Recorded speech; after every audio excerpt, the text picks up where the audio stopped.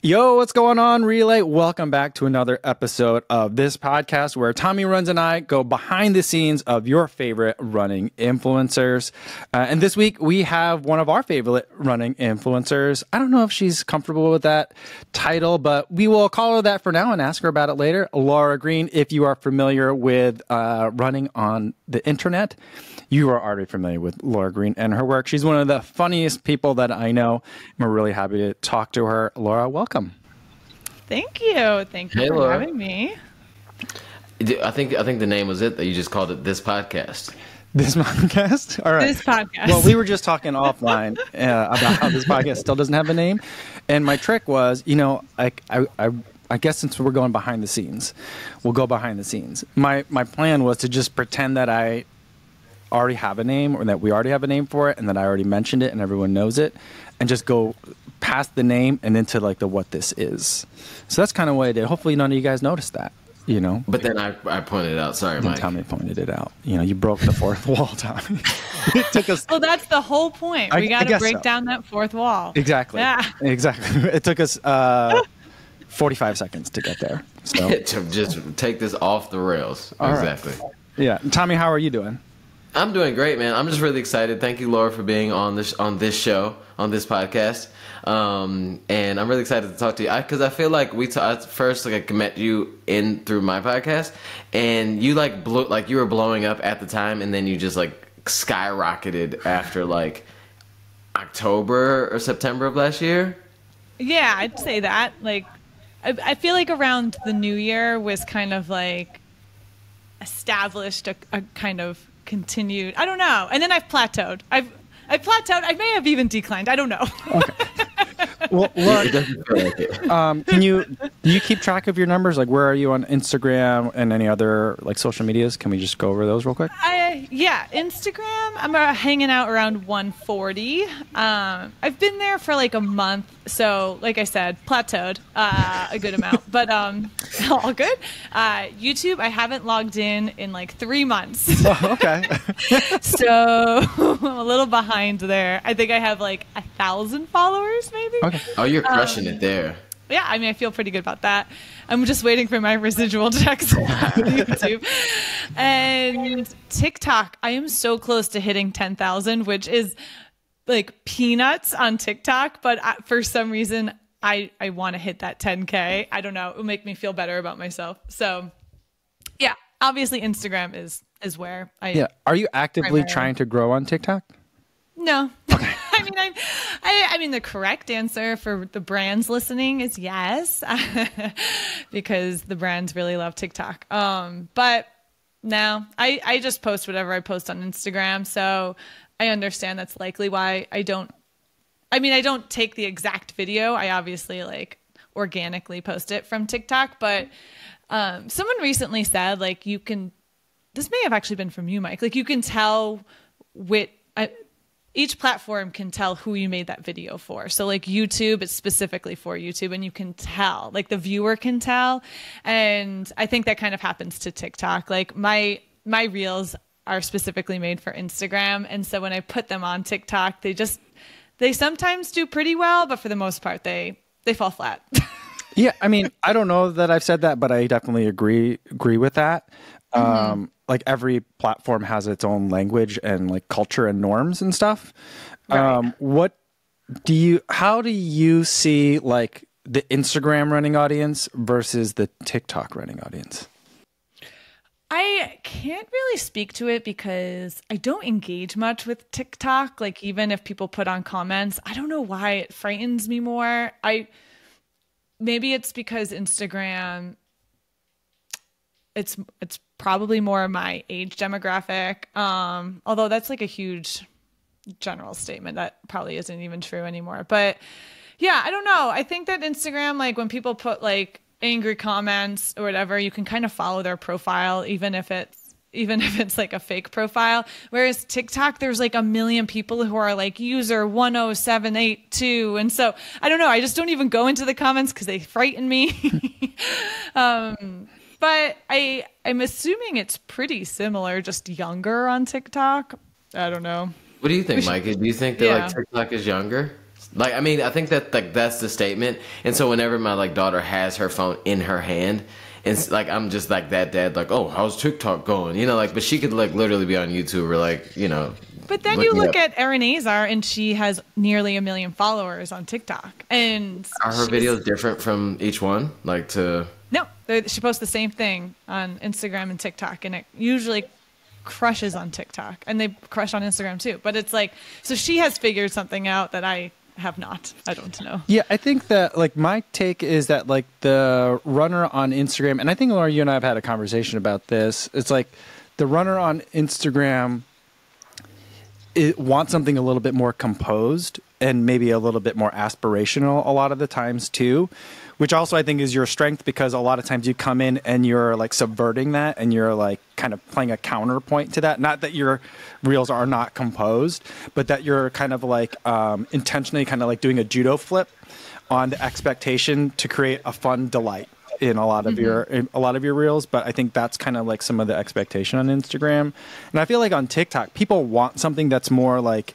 intimate in a way not like unfinished and not like produced but like something that is more feels more personal so like take a look at like two people that i think are big on instagram on tiktok for running is erin azar and matt choi um, and i feel like both of them have very different like angles and perspectives on the running community but both of their content is very like like kind of I guess close is like a, a, word I'll use for lack of a better way to explain it. I feel like you know, with Erin, you're getting a very unfiltered, even though it's very like scripted in in a lot of ways. Her stuff, um, like she's definitely thought about how she's putting this video together, uh, but and it's still very real. And not that she's faking it, but like it feels very much like you're on a run with her. You know?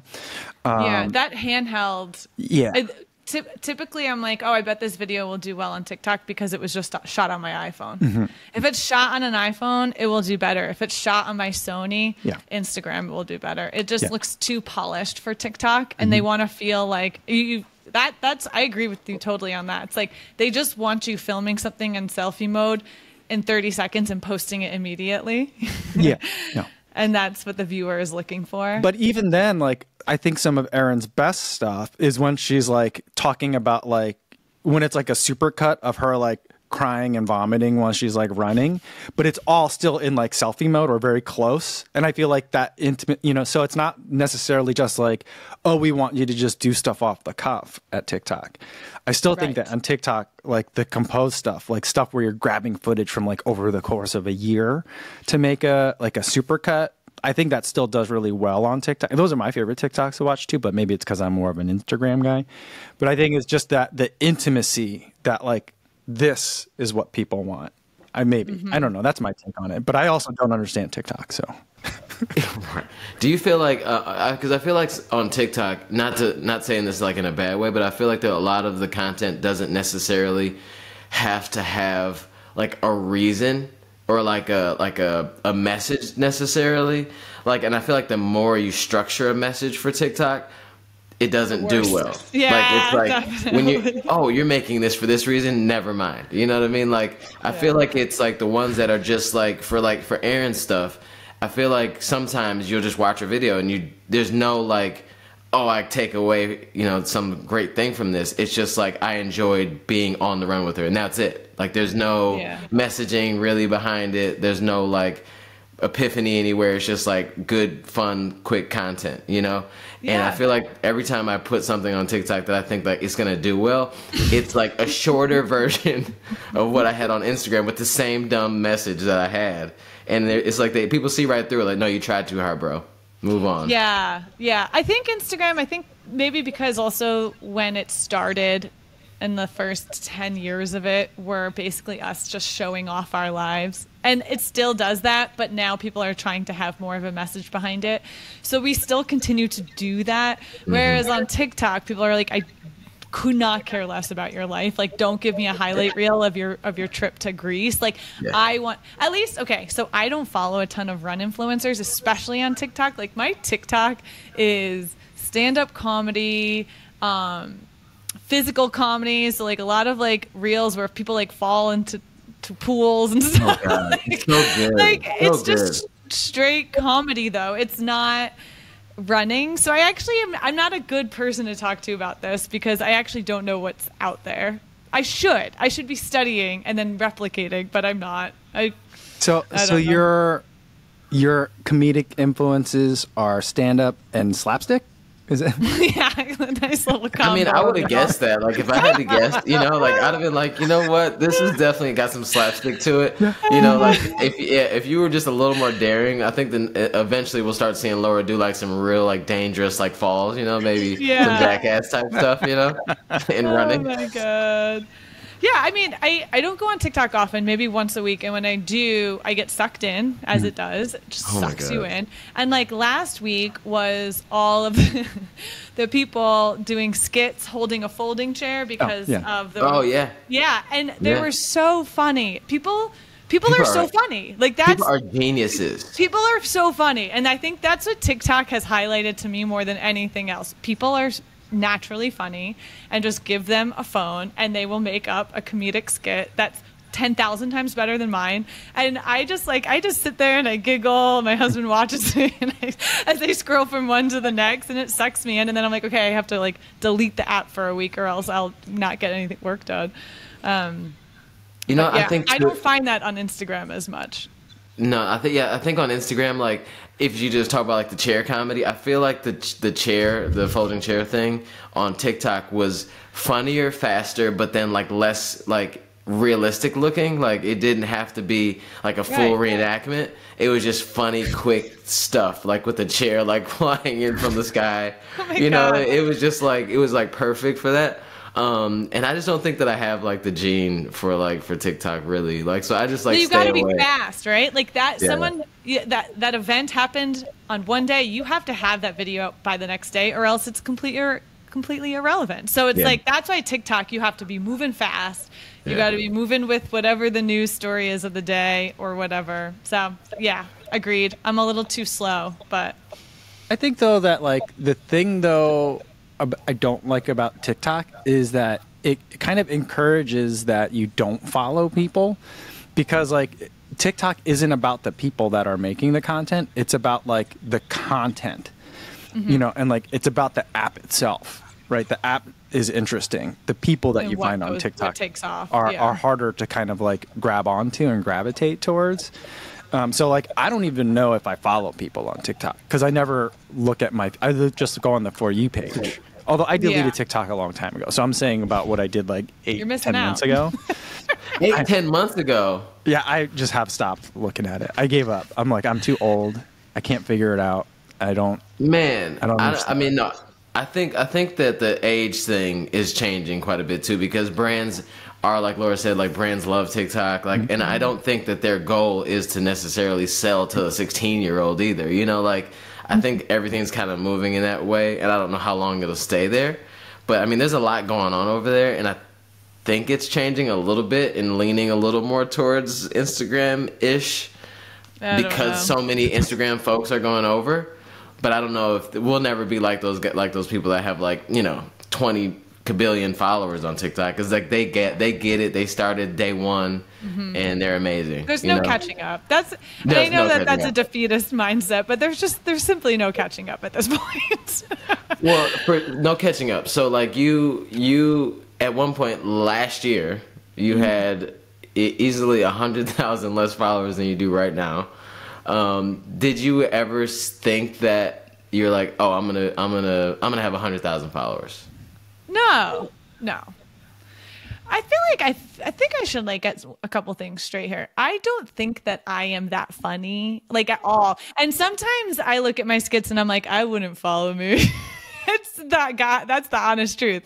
So like when I when I am like, oh, when pe- people are like, "Oh, did you see this coming?" Absolutely not. Absolutely not. Um, but I just keep doing it because it is fun to make, and some of them I think are funny. Oftentimes, the one that I, the ones that I think are the funniest, do the worst, and that's just kind of I think how it goes. Yeah. Um, but no, I never saw this coming. I also never even saw this as a career option or even as something that I thought I would want to do. And I think I'm talking to two men who had different careers. Still, Tommie, you still do. Like, like we're like, this- you don't kind of like enter this world as like I am going to be a content creator. Um, it's something that has fallen into especially the millennials the elder millennials of the world. Like that i think that's especially true for us because this kind of just started when we were in our 20s and 30s and 40s and so for us to just kind of like start in one specific career and shift over um, people are like what are your goals? I, I don't have any goals. Zero goals but then I can get let down. that's a good. That's a good approach. dreams. I, I also I feel like I have not met anyone that's been like how did like you know you meet people and you're like how did you get into this and you know there's going to be a story and it usually starts with a well you know because like it it's it's windy it's a windy road and like you know it's interesting because i hear people that are like oh kids today they don't want to be astronauts and firefighters anymore they want to be youtubers and i'm like how long is it going to take for when i'm like oh hey how are you how'd you get into this they'd be like oh i've wanted to be a youtuber since i was seven you know like i've not Yeah. met a person like that yet before um, so yeah it is, it is always an interesting story of how people kind of get here It is. Yeah. It's interesting to kind of like that will be the next generation though. And I think that's what Gen Zers are. They started YouTube channels when they were 10 and now they're in their early 20s and absolutely crushing it and living in multi-million dollar homes. yeah, I think I think that the I think you're right. I think that there's like for YouTube mainly and like Instagram. I think that the people who are like really big now. I mean, there's obviously some kids in there because they just like caught like this thing and they do something amazing and then they just blow up. Um, but I feel like there's going to be more and more kids that like you you'll meet that are 15 or whatever that have like huge like TikTok followings and they're like they they knew for a long time ago that they wanted to do this. Um, it was on- my son has a TikTok page and he got so he was doing so well, and then he um, it asked him what his age was one day, and he just wasn't thinking, and then like honest? put his age in, and it deleted his whole page because he was 12. Buddy. And so like he had he had a, he had gotten all the like bunch of followers.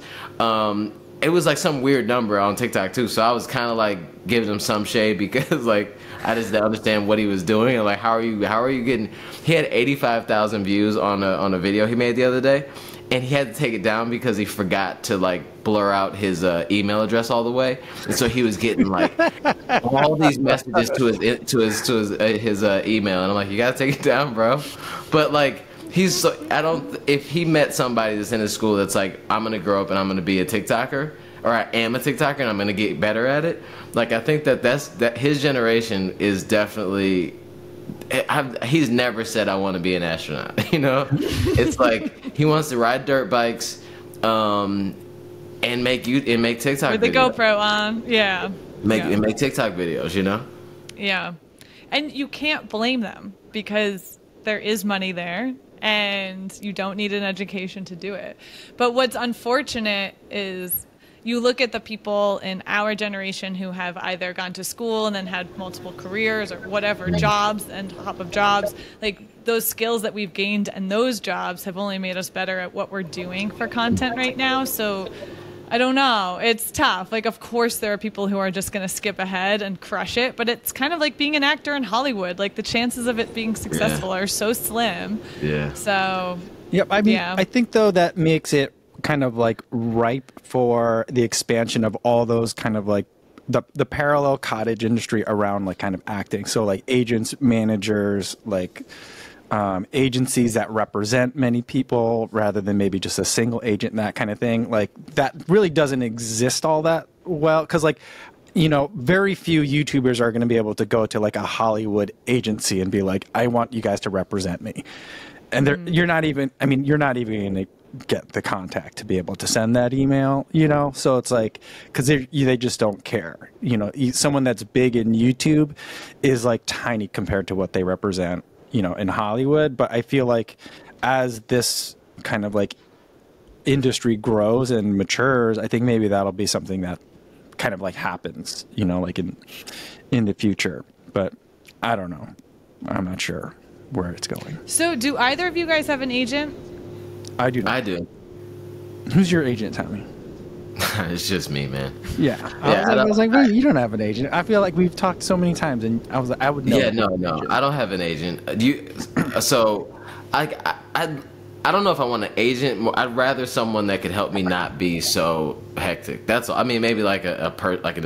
I don't want to say assistant, but sometimes like there's so much like the way that I work is so like you know mike it's kind of like everywhere a little bit like kind of all over the place and i would love to like have someone help me like not be so hectic and it would allow me like focus a little bit more like so like laura like when i see and you mike too it's like both your your your y'all content to me looks so um like so well put together and like thought out beforehand and I don't think that like everybody has that. So like I guess what would be your advice for people that are making content, both of you, making content and like how to make it like I don't really know what I'm asking, but you you, you guys uh, content is so elevated, not just because of the cameras, but something in the content just makes it so good, so clean.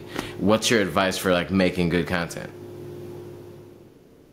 Laura, right, you uh, go. okay. Well, for me, I I would say like two opposite things.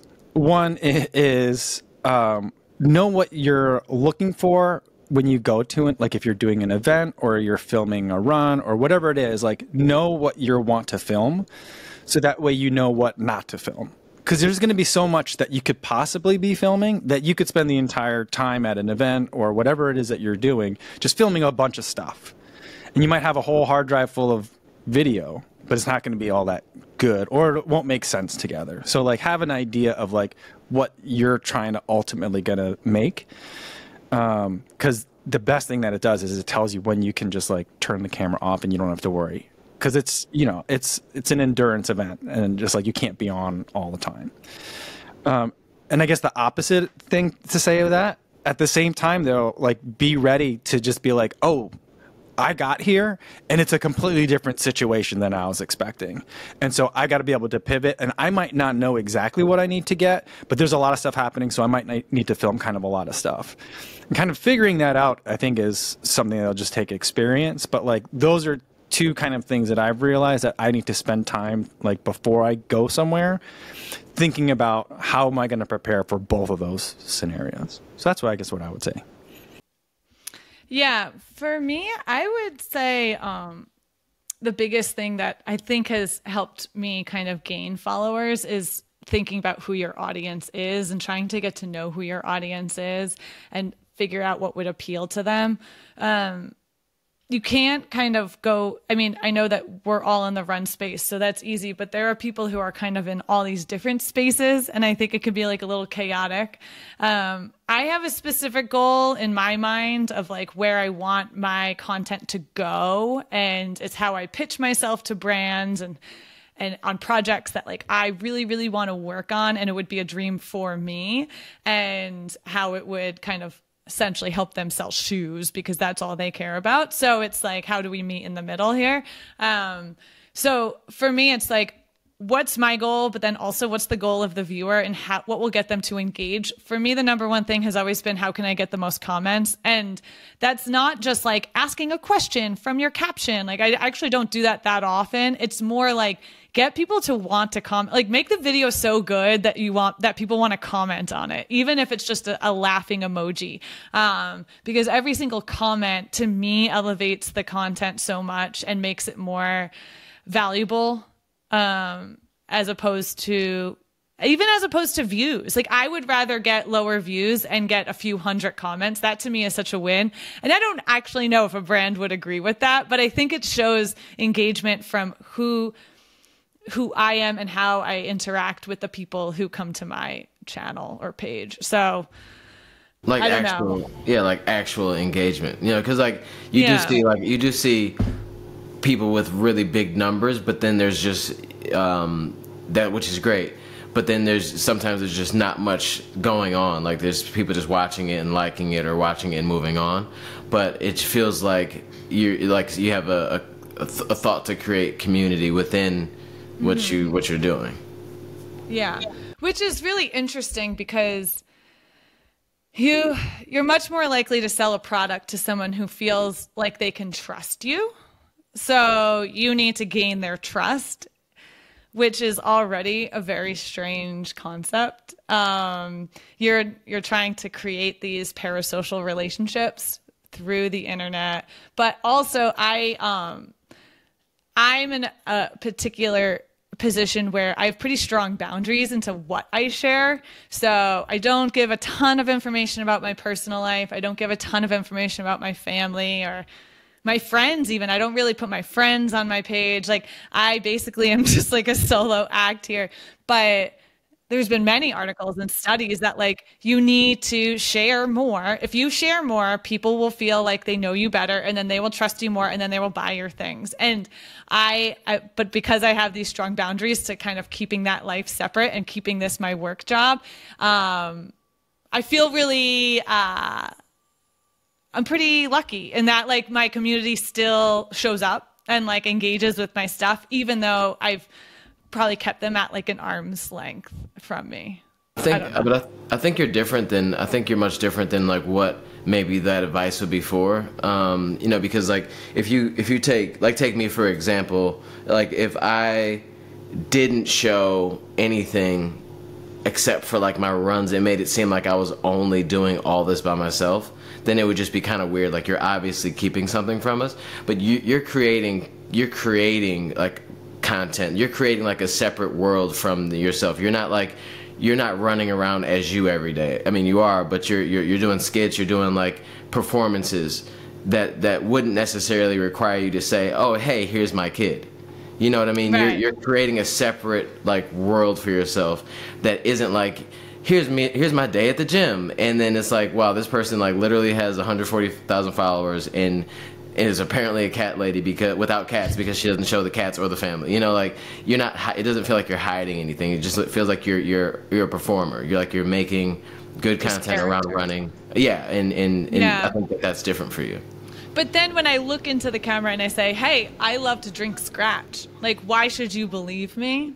So there has to be some type of interaction that's not just like this character. There have been so many recent articles about it. I forget I, forget which YouTube star kind of like went off about it. And so it's kind of ignited this flame. But I do find it really interesting because it's this um, understanding that like the influencer has to break down this wall in order to feel connected to their community so that they can essentially sell something. But if the consumer, if the person who is on the other end then dishes it back to the influencer, it's very common for the influencer. I have thought this and said it myself to say, You don't know me. Wait a second. You don't know me at all. You don't know anything about my life. You don't know my, about my family. Like, who are you to judge me? But it's, but the argument is, well, it's because you've invited me in. So, so like, well, why did you tell me to trust you to drink that Skratch? you know, it's like, it has to be two ways. So it's, um, it's been this kind of interesting conversation in my mind the last few weeks of being like, are these boundaries or is this me saying no to negative feedback? Because I'm scared of it, you know, because I'm scared of of trolls and whatever it is. So I don't know. It's like interesting food for thought because how can you just say no? You don't know me. You don't know me at all. Like for celebrities to be like, get off me. Like, like you can't say anything negative about me because you don't know me. But but you just brought me into your bathroom and said get ready with me and told me which sunscreen to put on and I watched you get ready for a run and I watched you choose your shoes and it felt like I was inside of your house. So then for you to say, you don't know me, like, don't judge me, it's like, wait a second. So I get it. I get it actually a lot more clearly than I think I used to. Yeah, I think that the boundaries thing is hard. Um, but I think it's really important to set them, you know? Yeah. And like for me, you know, I, I kind of switched because I started out making like family vlog videos, and then it pivoted to running content. And since oh, then, I didn't know that. Yeah, and since then there there's some been, good videos out there, yeah, Laura. There's, Go they're still back. there, but like, yeah. Um, I, I, I, kept them on in the beginning because I was like, well, if I if I remove them, then I'll have like zero views on this channel, and I need some I need to have some like lifetime views. But um, right. so they're still there, and I just never got rid of them, and they're very old now. But like now, like the boundaries that I've wanted to set has has changed as some of my kind of like thoughts on you know putting my kids on the internet and putting my wife and my house and all that stuff on the internet has changed like a little bit, and so like I feel like you know and, and I talk about this with a, you know, I happen to, you do it, you guys all do it too. You, you, you meet athletes and like we kind of cross over in this one space of like, we're all posting stuff to the internet and we all run, although they do it on a different level than we do. But I kind of share like, you know, like, opening up to your audience doesn't have to mean like you get to see my whole house. You get to see where my address. You get to see everything about me. It just means like share like what do you feel like sharing and talking about and what comes naturally, you know, and like share that. And then you can fiercely guard the rest of the walls that you want to guard, you know? And so, like, I, feel like that's kind of like one way where I talk about it, where I'm like, you know, I bring the camera on my vacation mostly because I want to make home videos, but I bring them and I did go running. And so I'll show some of that. Um, but I'm not going to show, like, you know, us the family photo. Like someone was asking, like, "Hey, how come there's no family photos on this account?" I'm like, "Sir, you just watched a reel about a running shoe." You know, so I'm like, Yeah. um, it, would be, it would be weird, you know. But I feel like at, at the same time, you have like this relationship that you're building with people from the mere fact that you're making all these videos. I feel like it like with human nature, it's almost impossible to not insert a bit of your own humanity into it, you know? Mm-hmm. So like after a while, like in the beginning when I was like, all right, no, like try to I was like, no personality, just make videos about shoes and make it really informative and doesn't have to like, you know, cut to the chase, be really concise, make the shortest, most powerful video you can and like get out all the personal ramblings. But eventually after a while you're just like, you know, I just don't like blue shoes. You know, and so that becomes like a meme, or I really like black shoes. You know, and that becomes like not a meme, but like a thing that people like understand that this is our this is our cult microculture here. You know, and I feel like mm-hmm. that's the way that like those are the things that you know about me, and we can talk about those things. But like, you know, then sometimes I think people as viewers may conflate that like level of kind of like intimacy in this narrow area as mm-hmm. intimacy in the whole kind of conversation and that's when i feel like sometimes people feel like boundaries get kind of blurred and that's where it can be a little bit surprising for one or the other side I mean, I think like the like the big like the highest level. Like I mean, in in a, I mean, when you look at people, what people compare like this influencing thing to, like on the highest levels, like the Kardashians, where they show. I mean, they literally show everything. You know, what I mean, they're it's like designed. Oh, well, maybe they probably don't even show everything. People think that they show everything. You know, and so it's like this. You're in their house. They're like they argue. They get you know on the camera, and then they like they parent on the camera. You know, and it's like um, not everybody has to, but they're selling, but they're they're they're they're selling their life. You know, like they're selling that thing, and so I don't think that like someone that reviews shoes needs to also sell that as well. Like, you know, don't you know, show us the the good and the bad of all the shoe stuff that you know, like you, what color you don't like of a shoe and all that. Go deep into that, but that doesn't mean you have to go like um, you know, today I yelled at my daughter. You know, you know, it's like you don't need to like you don't have to cover all those bases. Just cover Right. the bases like within within your field. You know, and and Laura, like when you share when you I think you went on vacation a while or something like a little while back, and you showed like people.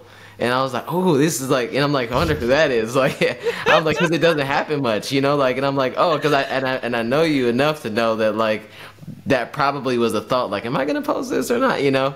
And then you posted it, and I'm sure people probably loved it because there's people that like are invested in your success and like what you're doing. They think you're really funny, and they probably, even though you don't show a bunch of like who you are behind all that, people relate to you because they see themselves like, oh, I I would think this, I act like that too. I don't like this brand either, or I think this, I love this brand, but I think that they're funny because you know, like you're doing a really great job of going through all the layers of what you're willing to go through. That's really funny that about because I also just people are nosy. I'm nosy. Yeah, I I am am. one of these people, you know. so like, come on. I it's not that I'm like, oh, how could they?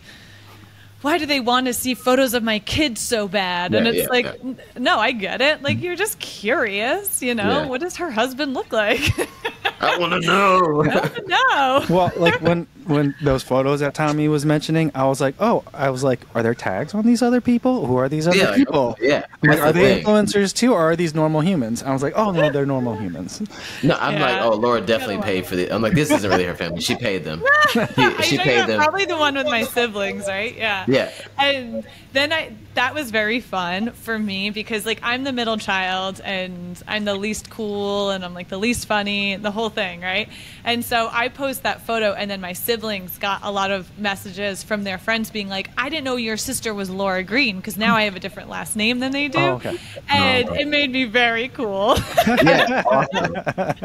awesome. That's so good.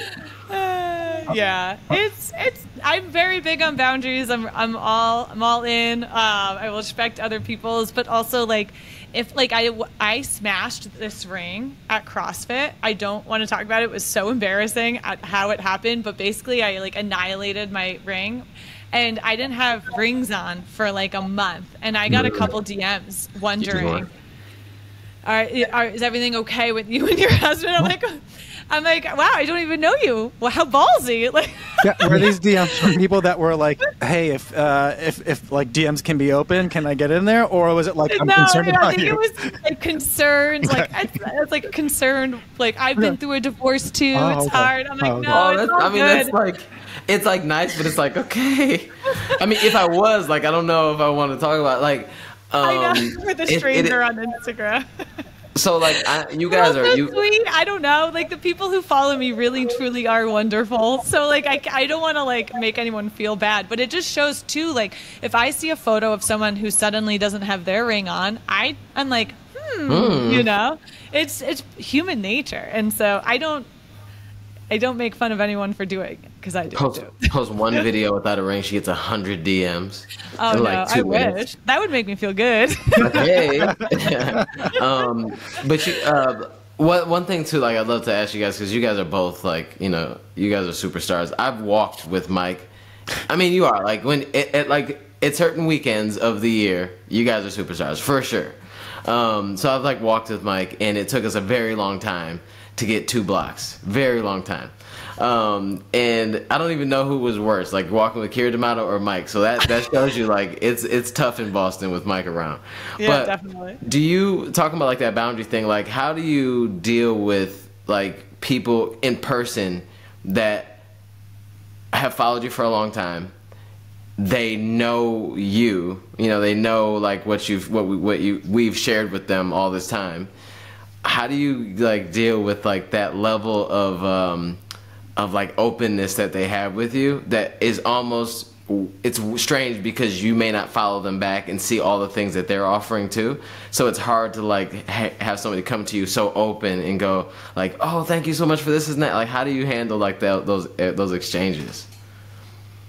I just think it's so flattering. So I, I, I I'm always like take a like taken aback by it because I still don't in any way feel cool or famous or anything. But on like you said, on those weekends, on like Newbury Street Boston Marathon weekend, um, I was shocked at how many people recognized me, and so, so then it became this thing of like, oh my god, like this, this is bigger than I even thought it was. And then of course it's like a very specific weekend with a very specific group of people. So of course, like I walk down Newbury most days and nobody knows who I am. like that's that's my reality. It's just those weekends. But um yeah, I am just so flattered by it. It's a lot of people who are just like, thank you for making running fun. Like that's pretty much typically. It's not like I'm out here changing lives. I'm not out here, you know, um, inspiring people even that much. It's more so just like, thanks, thanks for having a good time with it, especially as um, we get older. Like it's like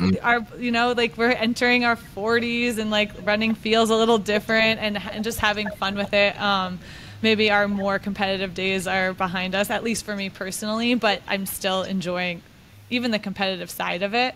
Um, yeah, I just, I think it's the best. And I love when people tell me things about themselves. I'm just like, I don't know, honored. It's an honor. yeah I have a hard time because, um, I mean, I love it. I, you know, um, it's always great when people say hi, and I always encourage people to say hi, like if they see me randomly, um, even like not on Newbury Street or like wherever I am. But I have gotten to the point where like I've met people m- many times. And they'll say like, "Hey, I saw you. Yeah. I went on the Chi- the group run with you in Chicago. It's good to see you again here in New York." And I just will not remember the person That's tough. and yeah. I just feel so bad about that, and I don't know like what I can do about it. because it's, it's uh, you know it sounds weird to be like because I meet so many people, um, but like true, though. I but there's a it's lot of people and I, I don't always have time to like spend with everyone that I meet like even on a like a group run or shakeout or event like that you know? And so that always kind of makes me feel bad that I don't. So I I appreciate it when people tell me that they've met me before because then it's a reminder because then I can at least acknowledge them and say you know it's great to see you again even if I don't remember seeing them the first time. Um I just so I, it's kind of like a not a lie, but it's my way of saying like I'm ha- I'm glad that we're meeting a second time, you know. And it's I just don't know how I can give more in that situation, you know. That that's what make that's the thing that always bothers me the most is that I Yeah. don't remember things. I mean, I feel like I'm feel like I'm I'm more in the beginning of that for um, you know, like there's definitely on like race weekends and stuff like that. Like, and I uh, I'm mildly noticeable, I guess. So it's like people that follow me go like, yeah, that's you for sure. Um, I don't know what it is. Um, Tommie, you're you're the dude that was in that Runner's World photo with The Aaron two of you, how- the two that- of you are so recognizable. I am just like your classic white girl with brown hair. Like I, that's that's actually why I'm more surprised that people know who I am. I'm like, you actually know what I look like. I mean, I look like when you- everyone else out here. when you said that you were surprised that like so like people recognized you in in Boston, it was. I mean, it's kind of crazy to say. I mean, you like. You make you make very cl- like your videos are very clear. It's like it's like you're running by the right. You're like right in center. Like this is you. Like this is all your videos start right here. You know. I, yeah, that's true. I know, but then- the only the only distinguishing feature I have is that I'm tall. But people don't realize that I'm tall until they see me in real life because there's yeah, because nowhere all your tell. characters all your characters and your skits are the same height. um but yeah like so like i'm in like the beginning of all this so like when people sit when people like recognize me or like come talk to me and i am pretty vulnerable about like you know alcoholism and you know in in certain things you know so i think that sometimes some of the connections that i may make with people through my content um is it can be like overwhelming to like for me to like hear their immediate their thoughts when they when they when they meet me. So it's like I, I was like it's super imposter syndrome too. It's like I, there's no way that that i could have made this impression on you you know? And it's just it, it can be tough to like handle that up front. And i know that you guys probably deal with with that in some way. So thanks for your thoughts on that as well. Oh yeah, I'm like the the queen of imposter syndrome. Oh my gosh. Oh so uh, another like, question what for, am I doing here? this is this is this is I'm just gonna ask you guys both questions. So, um, when when when brands come to you guys, because I mean a, a lot of people listening to this are probably making content or trying to make content eventually for brands and work with brands. Do you you all both make very specific types of content? Um, when they when a brand comes to you, do you ever feel like it's harder to deliver to them while being true to what you do? Like, do you ever feel like a, you know, like Laura, like someone comes to you, they know what they're they should know what they're getting. You know, like it's it's not even like. I mean, you're very clear. Like, if you watch ten videos, okay, this is what we're gonna get if we hire her. But do you ever feel like a weird uh, energy of like maybe I need to do this differently because it's this type of brand? And how do you stay true to like your, you, know, your your your core? Yeah, so my process is if a, a brand contacts me, I usually send them three to five concepts. So I have them choose or narrow, at least narrow it down so that I can write a script. So I try my best. And there are, on occasion, a few brands have come to me with their concepts, which I love because it gets 50% of the work done already. Um, and it gives me a clear idea of where they're trying to go with it. But I usually change it at least a little bit. Yeah. um, and usually I make it, I just like turn up the volume a a hundred percent because they're pretty tame and they're pretty safe. And I'm like, let's just make it weirder and maybe more physical comedy. um, Yeah. But yeah, that, so then I so then they choose a concept and they're like, we're really into this. I write a script and then they approve the script. And I usually do that. It may sound like more work to people, but reshooting to me is the worst because I mean you have to do it all over again. And, and the shoot um, a lot of times I hire my friend Chris to help do the videography. So like to schedule him again and to go through all that again to reshoot something. So I make sure that the script is done and that they're all in on my jokes. And then I usually add in a few more jokes because they just kind of come to you and then they usually edit them out. And that's okay. Um, they're the ones paying me. So yeah, I mean, a lot of the ad work I do is very safe. I mean, all of my my skits are like G rated and pretty yeah. safe, so it's not like I'm doing a ton of controversial work out there. But I usually just I try and find a like a happy medium between me and where the brands want to sit. And so far, I've had a great time with it. Most people, like you said, know what they're getting themselves into, and so yeah. they know they know it's gonna be a little out there. Yeah, I think for for me, like my approach to it is one of two ways because I kind of get like two kind of like buckets of things when brands come to me.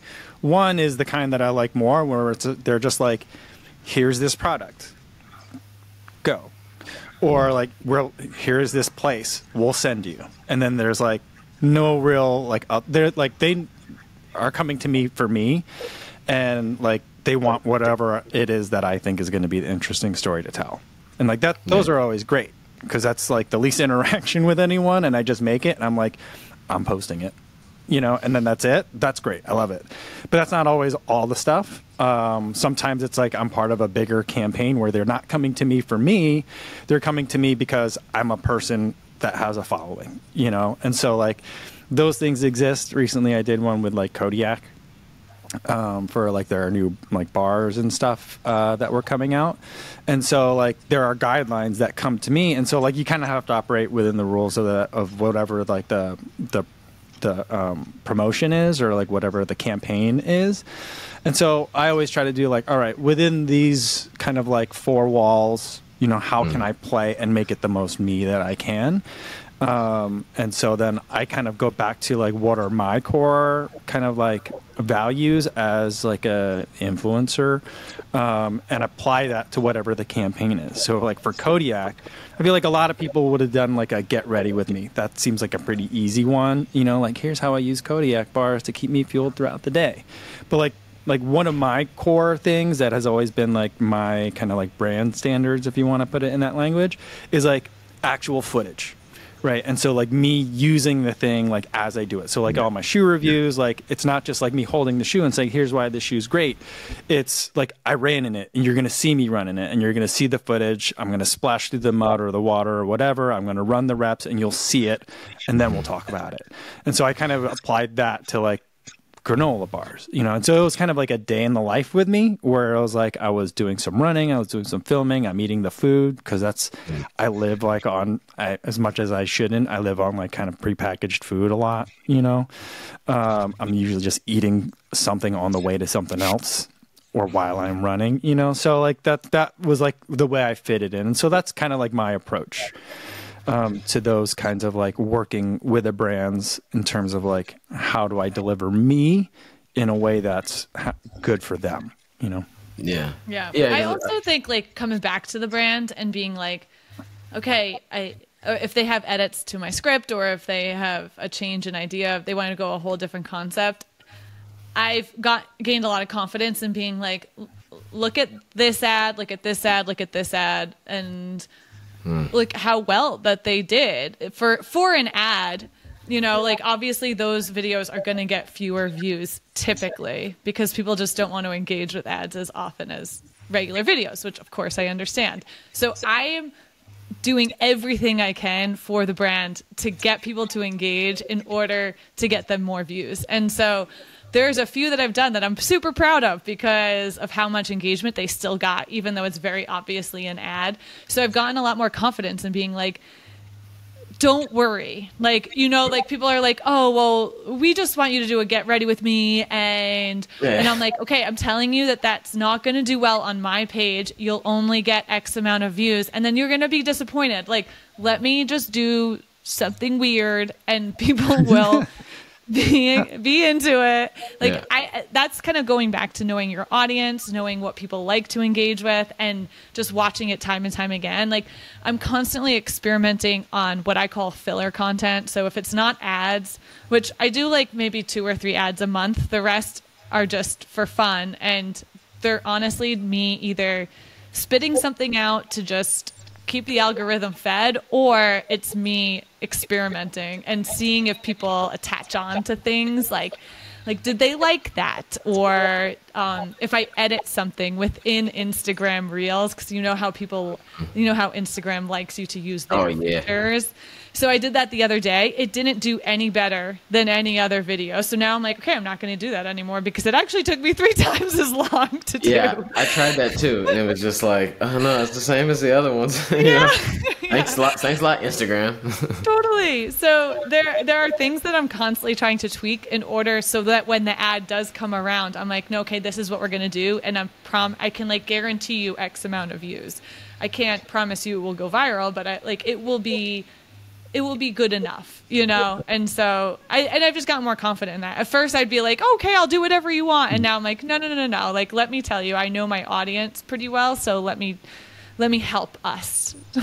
Let Yeah. me help Yeah. you. Have you ever had to walk away from a project in this kind of negotiation scenario, or threaten Um, it? no, not not yet. Okay. Um, for the most part, brands are like, okay, okay, cool, cool. Like we'll do with whatever, as long as it's not, you know, Yeah. um, offensive. But Yeah. they're like, we trust you, and so that's why, like most brands that I've worked with have been incredible with that. Yeah.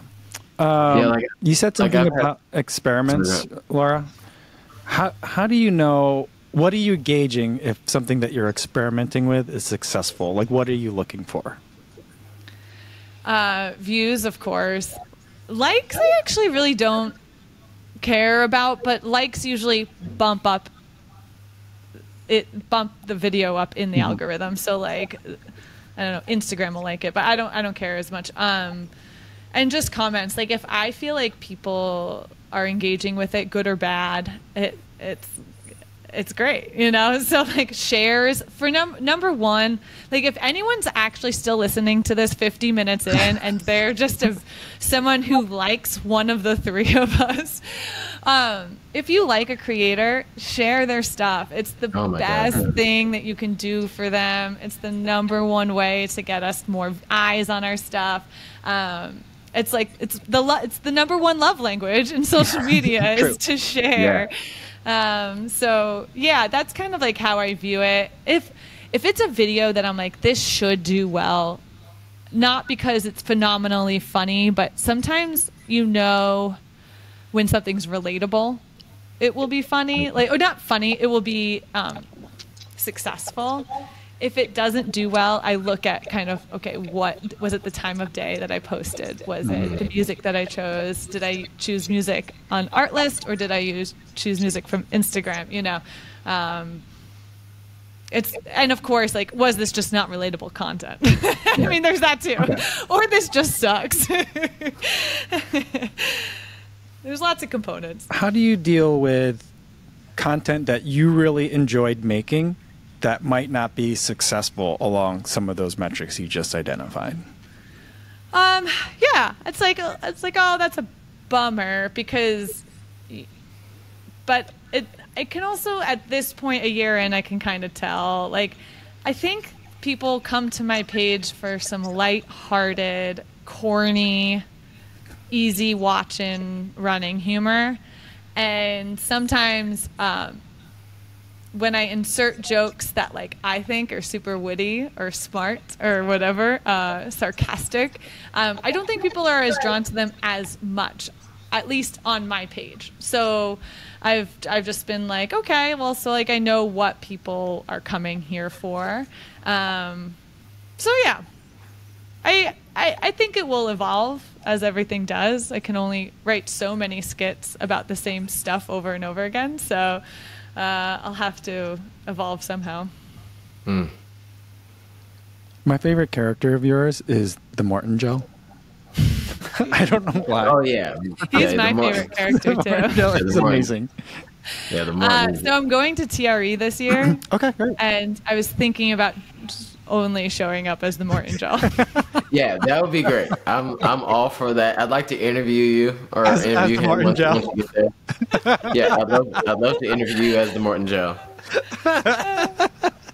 I've been meaning to bring him back so so many times, and then I'm like, I don't know what has stopped me. Like, I want the Maurten gel to go to McDonald's in the drive-through. You know, like, I, like, Like so a- asking like for random stuff like a cappuccino. Like, do you have do you have like you know asking for like super high end that's not there? Like, do you have like filet mignon like talk, burgers? a brand, talk about a brand that will probably won't ever want to work with me. Yet I am buying hundreds of dollars worth of their product every month. I don't think that that's true. I don't think that that's true though. Like, I, I I don't. don't I, think they mean, love me. oh, they don't love it. No, but I'll if they have a booth at TRE, I will show up dressed as Do their they have a character. booth at TRE? The crazy thing is, not the crazy thing is, they might all be dressed like you, so you may just fit right in. You should. If they have a booth, you should just stand there as if you're You stand in it, yeah. As if you're working the booth, and I they escort you out. Do you guys know Tony with a Sony? Yeah, yeah. I met Tony in Boston. Oh, he's the best. So Tony um had a had the idea the other day. He sent me a voice message being like, "You should go to each booth dressed up as that character." Oh so, my goodness. and then and then like create content off of that. So It'll be like, We'll Laura, see. you're going to TRE for two and a half days. How many suitcases did you bring? I know. It, no, it'd really just be one. You know, it'd be one carry on because you have one outfit the whole time, and then like go to like all the competitors' uh, booths and just kind of like look all weird and like scoff at them and walk away. I No, but if Oh, she, but if she was like she dressed as Brooks to Brooks and she Yeah. dressed as Oh. Asics to Asics, my God. you know, I think and and like I had to talk to them. Like I thought, like, and it's kind of like, how do I expect a shoe to talk to me? But No, like you are like Brooks, you. I mean, the Brooks is like. you We are running happy. Welcome to running, running. I feel like you should just greet the people that come to the booth. Like, yeah, just don't even yeah. Act like you are you are Brooks. Like you are Asics. Yeah. Like at that moment, like you, not even like you're a shoe. You are the brand, and yeah, you just stand there and like just expect for people to like know so exactly funny. who you are. And I think I think that Brooks thing. I think you're on the right path with that one. they'll be like, man. here's the list of people that are barred from coming to TRE. One, Laura Green. Two, end of list. Yeah, one Laura, like no one. Laura Green is the first one, and then Laura Green, One Asics, and Laura done. Green Brooks, Laura Green Maurten, Laura Green. all the possible Laura Greens that could show up, you guys are all banned. Uh, this is my first and last year going to TRE. That's for But sure. you've never been. No, I thought for some reason I thought you had been. no. It's my. It's fun. gonna be a that's good- the- that's gonna the be first place where I met um, Erin Azar. And she Oh, and she was there and she was like, I don't know what I'm doing here. And I'm like, no one here does. No one here does. Yeah, you don't really. Just just enjoy it. And she's like, okay.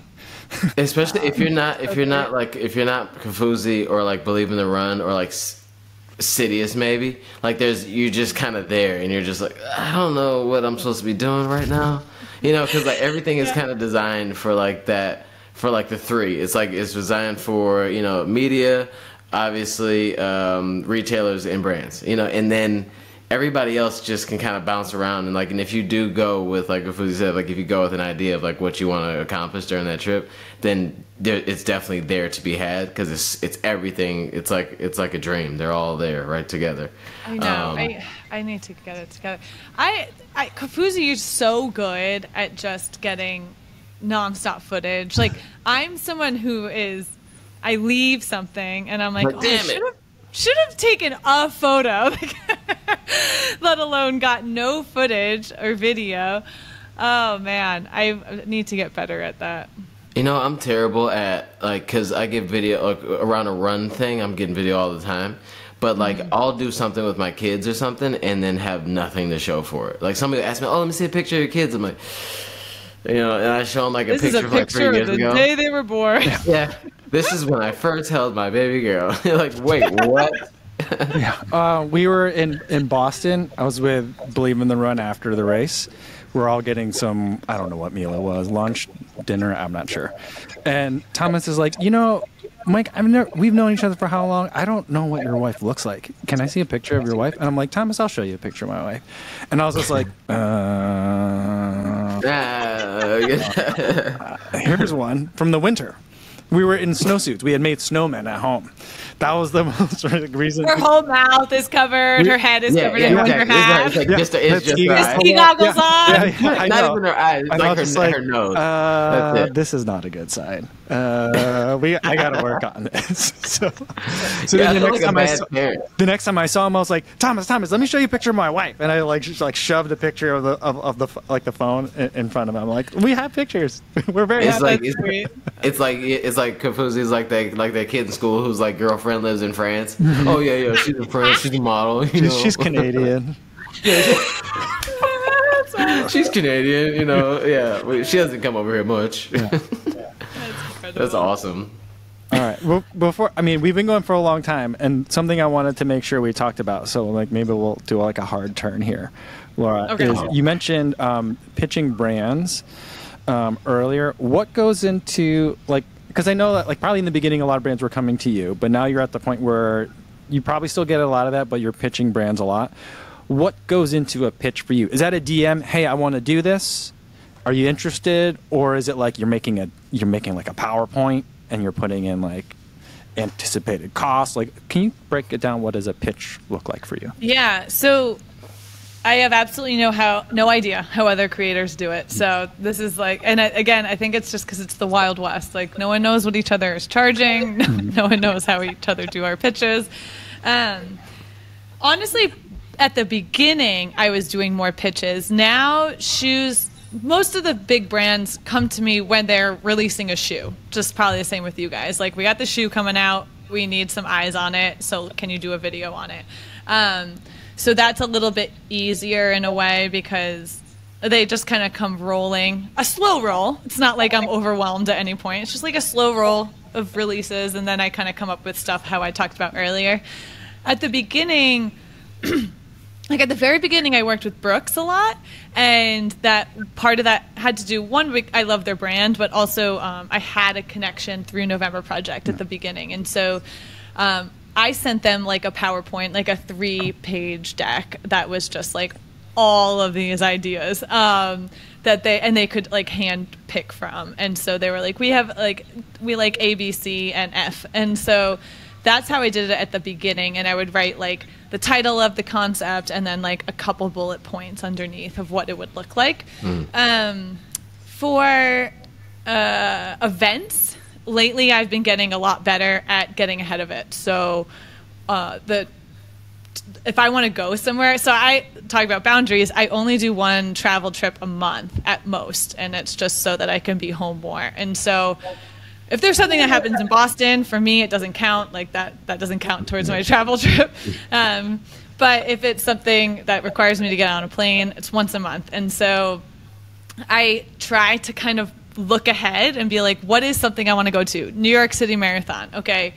Who are the key players? Who would want to work with influencers? And what could I do? So for them, like I would reach out to a couple brands and I'm like, I have an idea. Um, I think if you're an early on creator or a, um, influencer or you want to get in the space, speaker, host, my number one piece of advice is to get your plane ticket, get your hotel. Even if you don't even get it, just say you already have it. I'm going to be in New York City for New York City New York City Marathon weekend.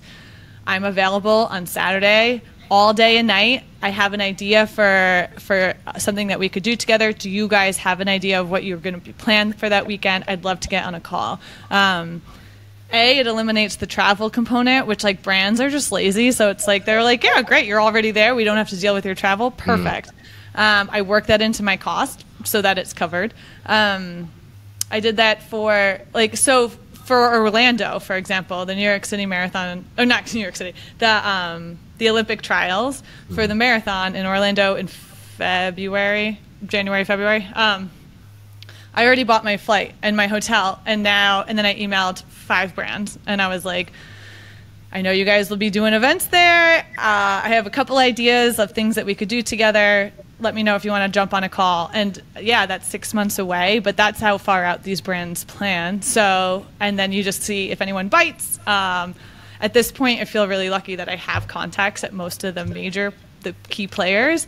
Um, but there's also a lot of smaller brands um, or brands that are not shoe brands that like to show up at these events too that I love working with. Um, so yeah, it's it's kind of just like keeping your mind open and having an idea of what you want to do and also what you like how much money would be worth it for you to go to these places. It's for me it's either I want to really want to go to the event. So like even just breaking even is all good or it's a, a, nice paycheck that makes me feel good about leaving home and leaving my kids for X amount of days, and um, it was worth it for me. So it has to hit one of the two to make it worth it. Yeah. Um, but yeah, I've gotten just a lot more confident with it and a lot more. Um, I, I have an understanding of how these events are built out and what the brands are looking to showcase at the events because now that I've been to a handful of them, I I can like take a step back and be like, okay, if I were the brand, what would I be wanting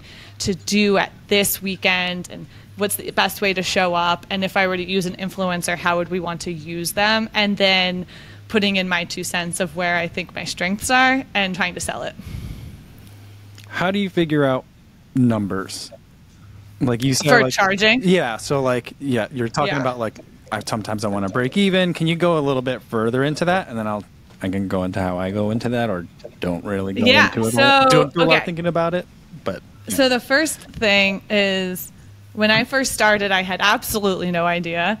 But I also was not afraid to just like cold call people. Okay.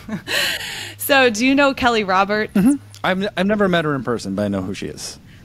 Okay, so I've known her for a number of years, okay. and she was one of the very first per- people I talked to mm-hmm. about rates. And she's like, never like you know like I'd be like she'd be like what are you charging for a reel and I think at the time it was like 1200 and she's like Laura and I was like what you know like I just had no idea and so she's like you got to triple that and then oh, okay. you, you also have to go up higher and then they'll negotiate down and I was like terrified of negotiating yeah, right because I'm like oh they I look ungrateful for asking for so much money and then I talked to a, a, number of different creators who I just slid into their DMs and I was like, I have no idea what I'm doing. Would you be able to get on a call and help me out? And half of them did. I mean, people are very much willing to help because what is the saying? Like all all ships rise. Yeah. Like you got if if one person is charging not enough, if they're if they have such a low cost, then the rest of us suffer because the brands are going to keep going to the cheap guy. And I didn't want to be the cheap guy.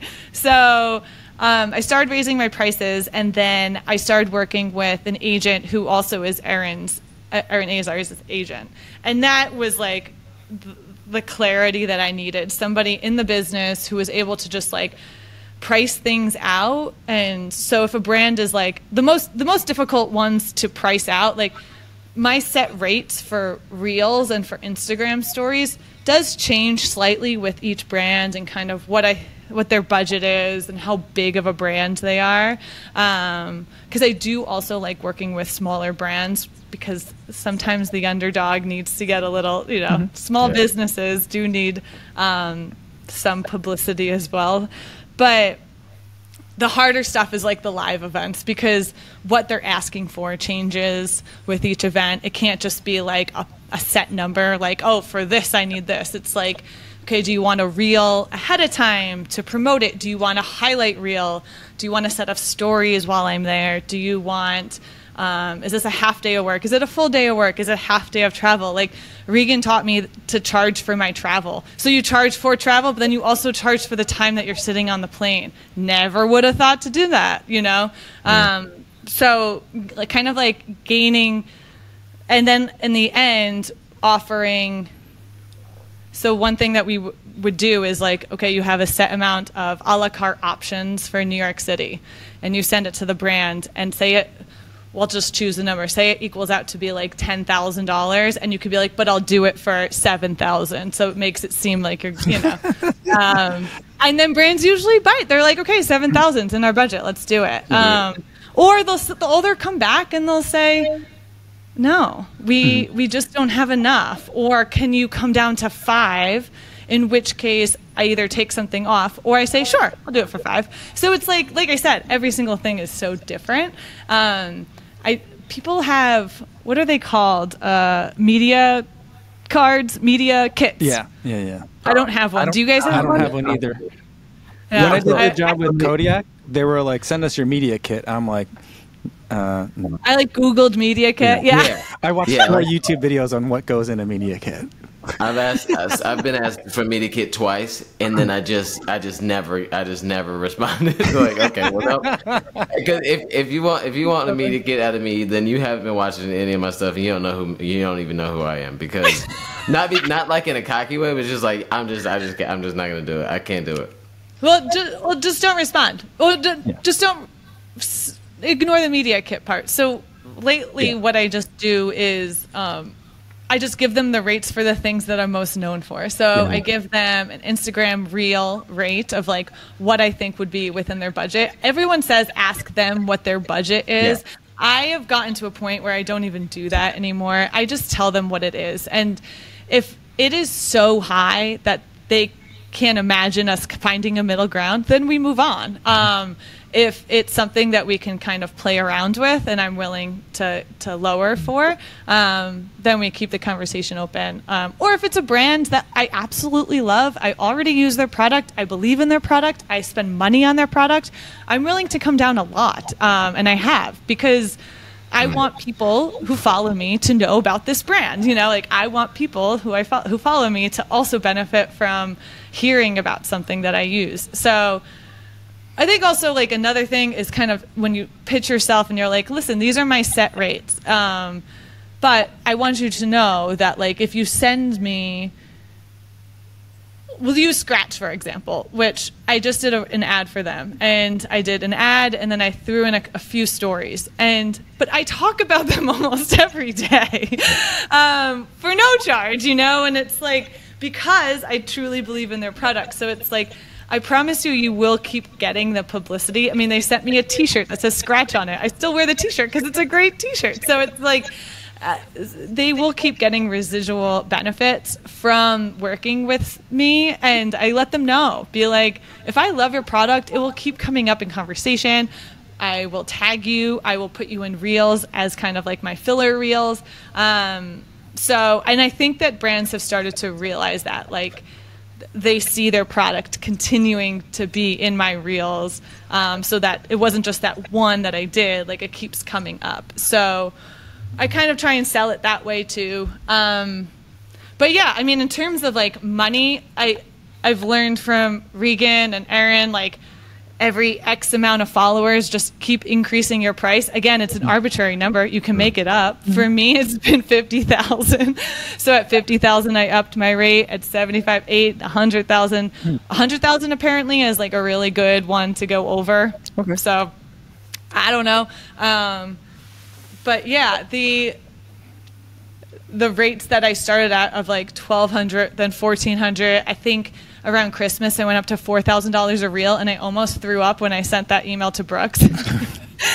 and they were like, "Cool," and I was like, "What?" And then you then immediately you're like, "I didn't charge enough." Yeah, yeah. right. You should have said twenty. I mean, I mean forty thousand, forty thousand Yeah. a reel. yeah.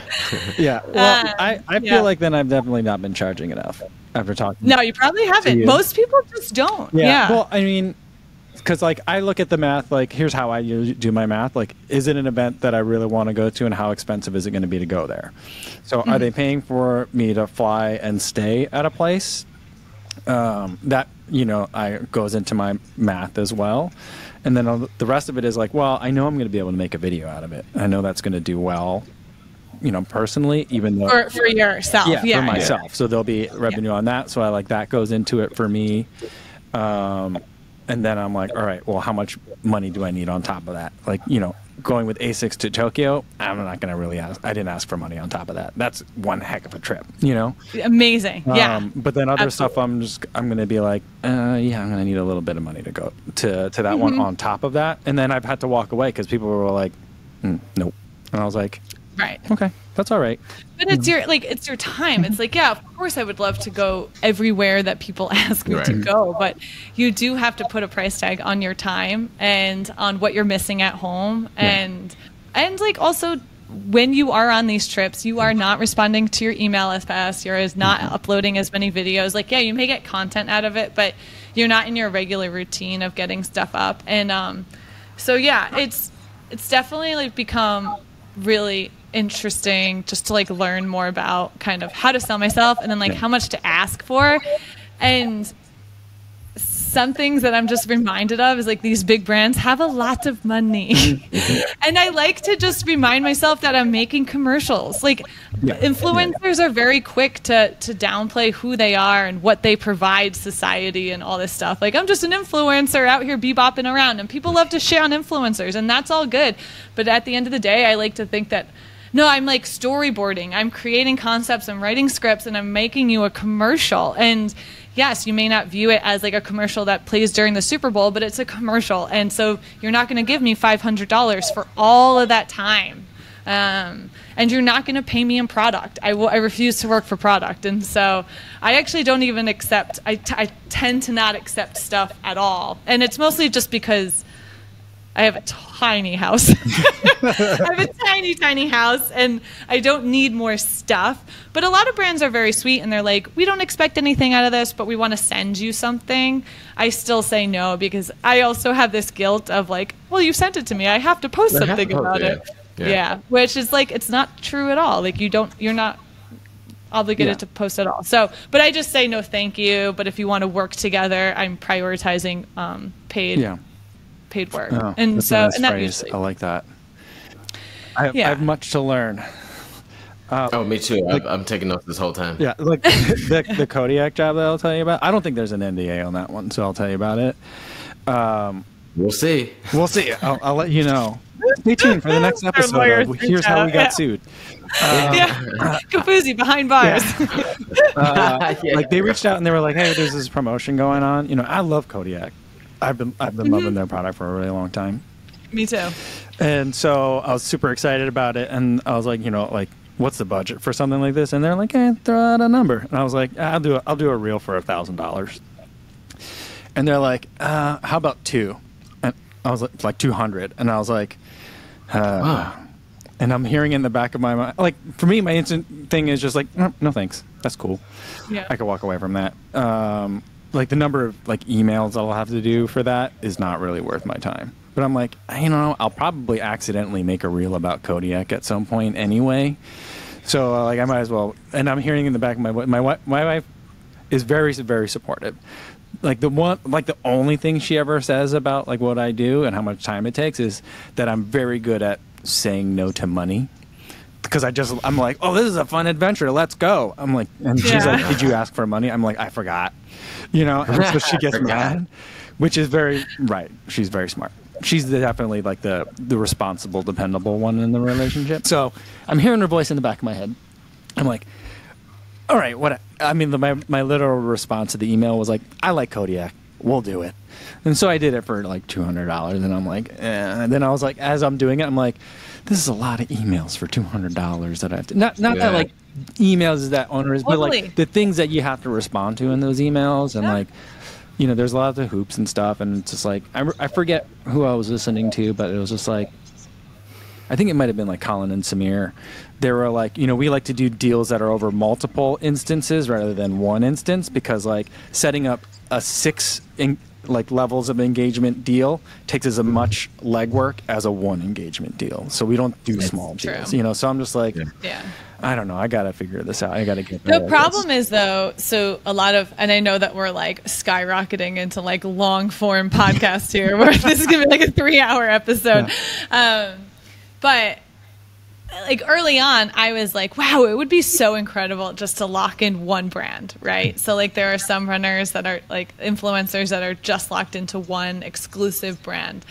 And then I think about what that would ha- what number that would have to be Yeah. in order to lock me in and it would have to be something outrageous Crazy. which I don't even think I could ever ask for with a straight face, right? like it would be higher than like what the pros get paid. So like of course they're not going to pay me for it, right? So uh, of course that hasn't happened and and I'm still bopping around to all these different run brands, but it's it is really interesting just to like the, the whole game, the whole game is very, very interesting. Um, and we'll see how it evolves because in the world of marketing, it's still relatively new. And so they're trying to figure it out even on their brand end. And when you said don't don't accept um, product for for payment, so like in the beginning of, cause in the beginning of like my journey, like that's like that's when I when I when I was like one day I'm gonna get shoes from a brand, you know, like that was like right. First, that was the that big was, goal, like, yeah. thing. And then I started getting shoes from from brands, and then I started realizing that like brands will try to use like that as let's do something together. And in the beginning, like it was kind of more like I had some people like you know I, I, you know talked to Mike a couple different times and a few other people that have been around the industry long enough, um, and they're like, yeah, don't take that as payment though. Like that's fine. Like take get the shoes, do all the stuff, but then also um, figure out a way to, to to move your thing forward. And so like sometimes I would take you know like on purpose I would say yeah sure I'll make I'll do these things or, or send me some shoes and I'll do these things. Like I would pitch the brand on sending send me like this many of these or whatever and I'll be able to make some content out of it. And it was always with like with the intention of like the possibility, like with the opportunity, like what could I make out of this moment? Um, and then would it help build would it give me some more credibility? Would it do blah blah blah? And that kind of went into like to that. But then as I started to grow, which which was like um, tough to like realize it's happening until like maybe you go to like a, a Boston or like a New York and then you realize like oh crap like we're like we're moving here. Like there's people that, yeah. that like that are like into the into the vibe. Then it's like okay well then i started to a- ask for money or ask people what what is your budget? Because they'd say how much you want to charge from this? I'd be like i'd be scared to say a number. So i'd be like um, what's your what's your budget? And a lot of times they'll give you a number like that's higher than the number that you would have you would have asked for. Totally. And then I'll say, sure, sure, that's fine. make it, make it sound like it wasn't just three times more than I was going to ask. Um, and like you said, like it's it's just it's I'm in that position now where it's like some like I'm going to I'm going to New York City. Um, with five other people. Like I'm bringing five people with me, um, and it's it was it's with New Balance. We're calling we got it's called the PR Project Never Sleeps. That that whole this whole thing, and because of that opportunity, and I was they were able to let me bring five of my friends. Um, I was like, that's a, that's a this is the opportunity. Like that's enough. That's cool. Great. As long as we we get there, everything's paid for. You know, other than that, I I don't need anything extra because this is such a great opportunity for not from just for me but for my friends. So there is some nuance to it because if they were like, "Hey, Definitely. we want we want just you to come out and we want you to do these, this many reels leading up to. We want you to train for three months and we want you to blah blah blah." Um, then there'd be a number because it's like, "Oh, it's just me, one flight, one hotel." Let's you know something else. We have to make this more worth it. But I think that there's so many people probably listening. There's not too many people listening to this that have 140,000 followers. But like, it's like you sometimes you have to take you have to think about like what the opportunity is for you and it may not on paper it may not be like wow that was a good deal for you. But like what mike's saying is like you know 200 bucks right? But like he's like i like this i want to do it it'll make you feel right. good. Sometimes you have to take that into consideration of like will you walk away from this deal and see this video later and be okay with it still? You know, like because they're gonna use the reel, they're gonna they post are. it, they're gonna make money off of it, and if you're gonna look at that in six months and maybe see it pop up in a random ad, and you're not, and it doesn't make you feel good that you only got paid fifty bucks and six pairs of shoes, then maybe you shouldn't do it. You know what I mean? Like you have to decide like what you're okay with. Yeah, I I, I have an example of that. I'm going to Banff uh, in October, and it's with this friend company and with on the scale of like budgets, it's on the lower end. And I was like, I don't care. Mm. We're gonna. Z- I just want my sons and my husband to come because Banff is one of the most beautiful mm. places in the world. My kids, I would love to show it to them. So whatever it takes. So like we bought like the cheapest tickets on WestJet and then I was like I don't care where we stay. I don't care. I just want it to kind of come close to to zeroing out, you know. Mm. Um, and that to me is 1000% worth it plus i get to interact with this community in calgary that i otherwise would not have so there's like all these gains and it's no it's not a $10000 gig but mm. that's quite all right like th- those bigger budgets are saved for the majors anyways. So like, I don't know, the, these small races that reach out all the time and they're like, I can give you a bib. I'm like, I can't, Yeah. I can't fly to Kansas for a bib. Um, as much as I would love to, but I'm tied down at home. So like, some things do have to have a paycheck attached to it, unfortunately, which Yeah. Sucks too because these races are small and they don't have huge budgets. So it's it's tough. You gotta you gotta have to kind of like balance it out and also figure out where you want to give back to the run community and if it's drawing attention to a certain race in a certain area that you love and you'll do it for free or you'll do it for for two dollars. You know, um, I'm down for that too. Yeah. I just did a job for a bib. It was Yeah. Yeah, a yeah, lot yeah. of work. I had to fly. Yeah. A lot of I had to fly. So fortunately, a friend let me stay at their house. I did a live stream live, uh, and then we made a video about the race and reels about. It was a lot of work. It was I, I knew about it before Yeah. beforehand, Yeah. and that he that it, like this whole dynamic, and so like watching you, you go through the weekend, I was like, oh. But uh, I, I'm, uh, you know, I, I'm using it as an investment with the relationship with the brand because I want. Which is something- I want. Which is I'm going to ask for something bigger later. yeah. So that's kind of how I see it. But but yeah, like but you went into but I'm we talked like, about, ah, this was. we talked I about know, it before. I know, it hurts, it hurts. Yeah, I mean, and we also you're on these you're on these trips with other creators and you're like How you're much was you getting getting paid Yeah. how Yeah, much yeah, you yeah. getting paid Yeah. for this Well, here's Yeah. the thing: not a lot of other creators were there. A lot of people were like, "Hey, I might go to that too," and I was like, and then I would follow up with them three weeks later, and they were like, uh, "No, they weren't going to offer anything," so I didn't go. And I was like, "Oh yeah, yeah, cool, cool, I, I'm Yeah, going." eh, But And then every and well, everybody probably watched that that weekend go down, and it was like, oh man, he got paid, you know. everyone But, probably uh, thought that I'm the reason why they they got off the Yeah, zero the reason why no one got I got a bib. Oh, Yeah, and then but like that's smart though because like because we talked about it before, and you're like, this is why I think I'm gonna do it, and and it's like whatever you're doing, if you're doing it with some like intention of building something, or it'll it'll it's an opportunity that could help you build, Yeah. um, then just as long as it's thought out, then then do it, and as long as you feel good about it, then just do it, you know, and um, I think that's just like the best way to go because whether you know, if if you don't feel comfortable like leaving your house for like seven days to go, you know, for the, to this one place for just a bib and you know maybe a f- one flight, then you you need to ask for more money. That's going to make you feel good, you know. And Yeah. uh, I think that's like you just have to find that balance of like, what are you going to get out of this, and will you be happy with it later? Yeah, I, I definitely the I de- definitely feel like I got taken advantage of a little bit. Um, But you crushed that weekend though. I, I feel like I did a good job. I do a Crushed good it, job no matter what. What you know, or I try to do a good job no matter what. But I, here's like the other way is like I've been trying to develop like as like I guess like as a product, um, non-running related meetups because we do like shakeout runs, but not everyone wants to go to the shakeout run, or maybe they have a coach and they're doing a shakeout run with their coach for that weekend. You know, maybe there's a group run that they would re- they need to go to instead. And so I'm trying to work out like some other non-related ways we can meet.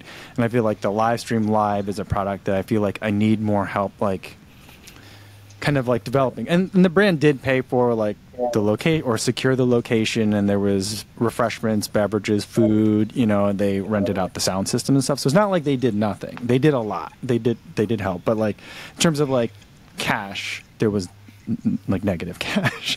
But Laura, Laura's like, can we just end this call so we can talk about this? but um, but here's here's the punchline though. Um, I just pitched like another brand yesterday. Like, hey, I want to do this in New York. I just did it in this other city. Here's what we had. Here's what it looked like. You know, so I'm like, you know, I, I'm call considering it in my mind like product development expenses. yeah you got a Yeah. trial run and Yeah. you got to show off the numbers Yeah. and how successful it was yeah Intention. All the intention is there. Yeah. yeah But yeah, all right. Should we end this here so that I could like really spill the tea? Yeah, yeah, let's talk about this. so we'll, we'll hit the stop button and then we can really talk about it. And then Yeah, Laura No, can really make- though. Thank, thanks so much, Laura, for like. So I, I, I had there's a successful DM to Laura. I DM'd Laura. She answered, which is great. Thank you so much for for answering Hey, I our DM. answer almost all my DMs. I try very hard. All right, well, but I'm gonna, especially I'm gonna from you ghost- guys. I mean, come on. I'm gonna do a ghost account. I'm gonna, I'm gonna create a ghost account and see how I can get the answer. Um, but yeah, thanks so much for being on on this podcast. Uh, we are we're happy to have you, and we love seeing like all the success and getting to meet you in person. You like literally are like as you're you are as funny in person as you are on on camera. So we, we appreciate it. guys. Oh shucks, it was really fun.